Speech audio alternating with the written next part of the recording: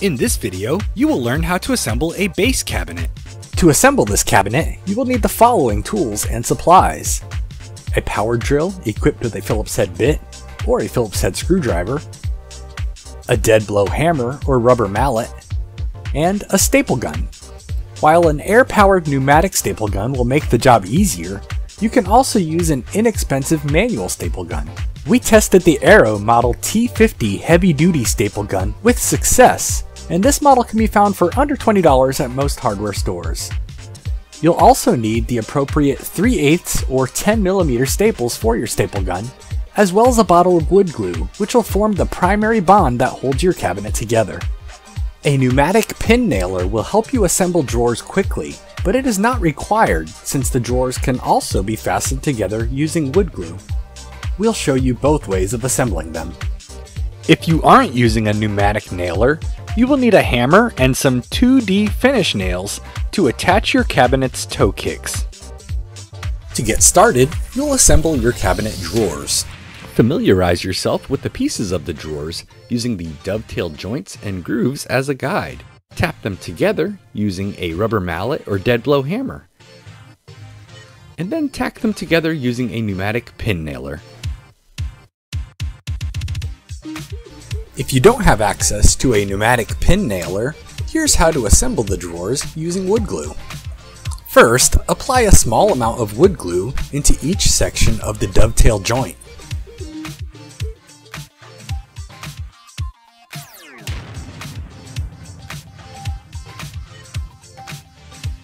Make sure that the groove for the drawer bottom is properly oriented, and then press the dovetail joint together. Use a dead blow hammer or a rubber mallet to tap the dovetail joint together until it is flush. Finally, wipe off any excess glue with a damp cloth.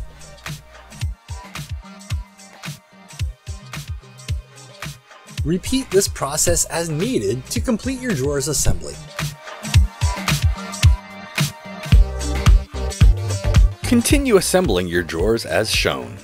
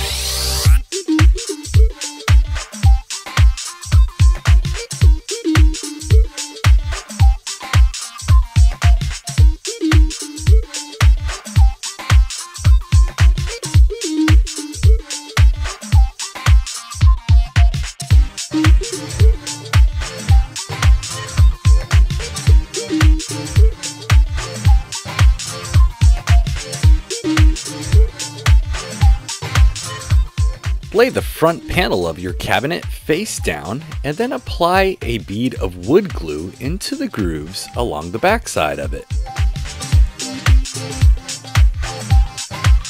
If you accidentally apply too much wood glue, simply wipe off the excess with a damp cloth.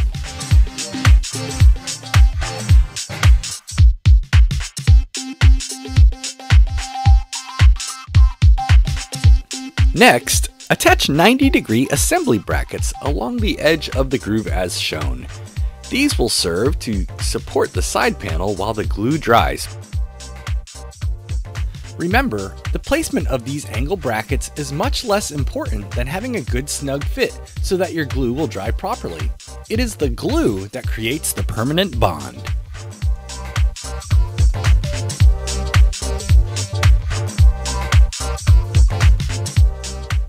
Slide the side panel into place, make sure it is flush at the top and bottom and along the grooves, and then screw it in place into the assembly bracket.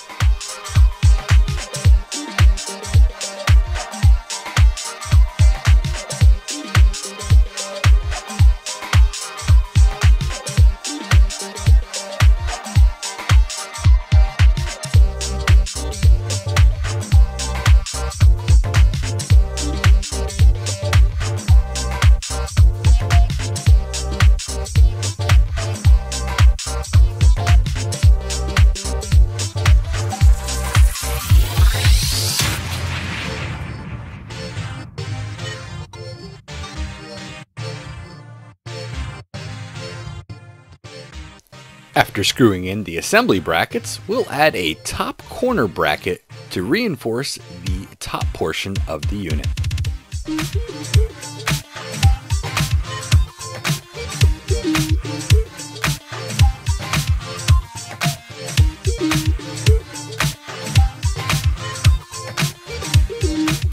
Repeat the previous steps on the opposite side.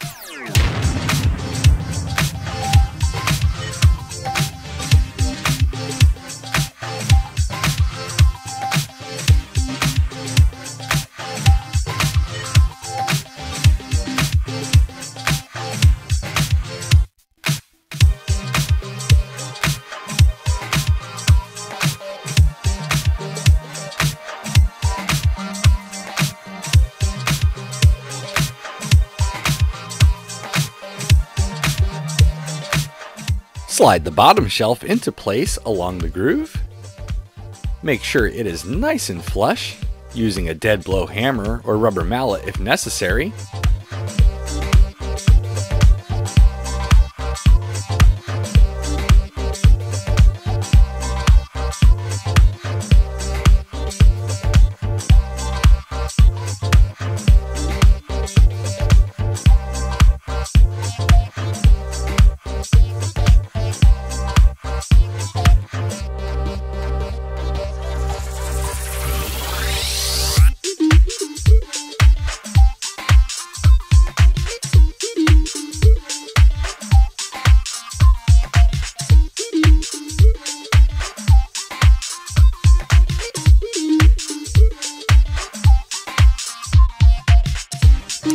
Now on the bottom of the cabinet, we'll attach assembly brackets to hold everything in place while the glue dries. Just attach assembly brackets to the front and one side for the moment. We'll attach the third side after the back panel is in place.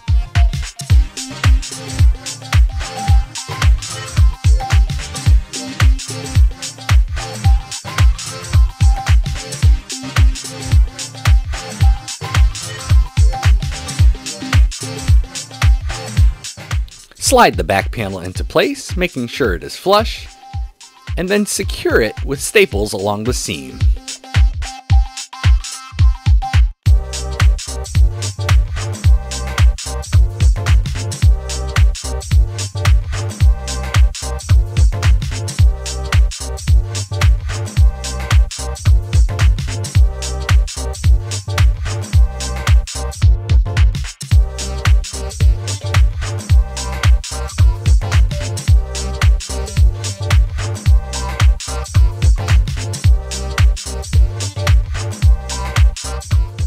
Once you've got the back panel stapled along both seams, it's time to install those last assembly brackets on the bottom.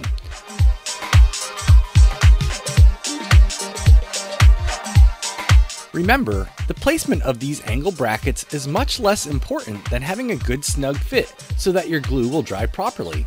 It is the glue that creates the permanent bond. Fasten the back panel in place by installing the inch and a quarter wood screws into the pre-drilled holes.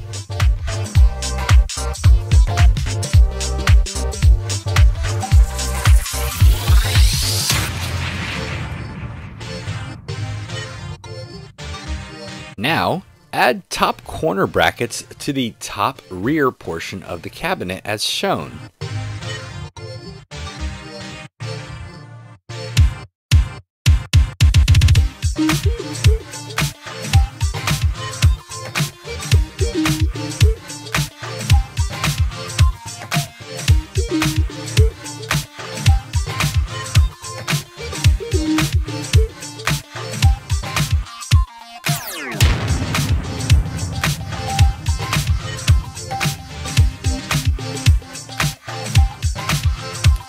Insert the plastic piece of the drawer glide into the pre-drilled holes as shown.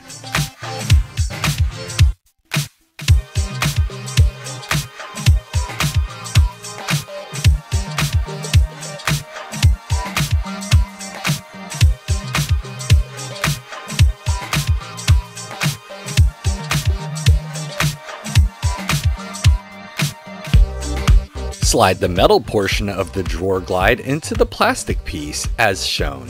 Here's a close-up of how they connect.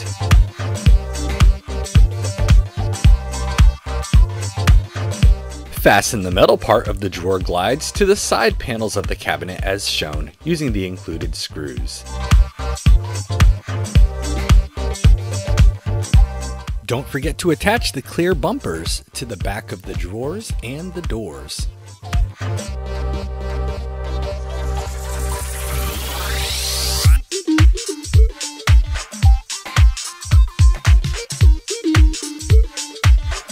Now it's time to attach the toe kick. You can do so using a pin nailer or with a hammer and 2D finish nails.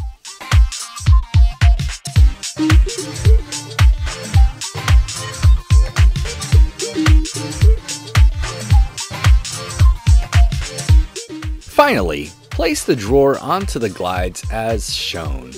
Here's a close-up of how they connect to each other. Once you've got it inserted, your cabinet is complete.